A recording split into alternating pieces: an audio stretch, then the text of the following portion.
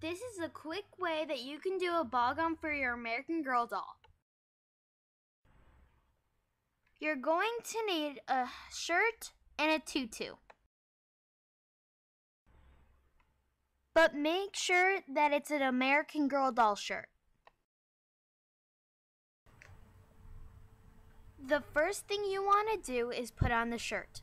Let me show you a cool way that you can make a long sleeve shirt turn into a short sleeve shirt.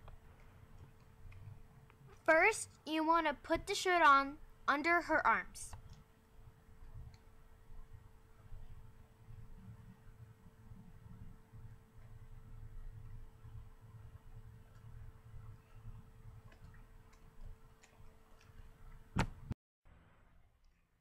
Then take the sleeves and wrap them around her neck and tie it in the back.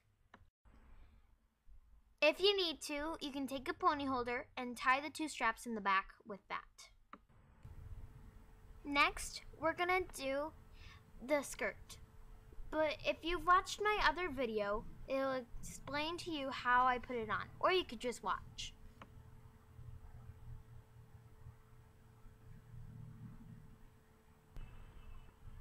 Then just slip on the skirt.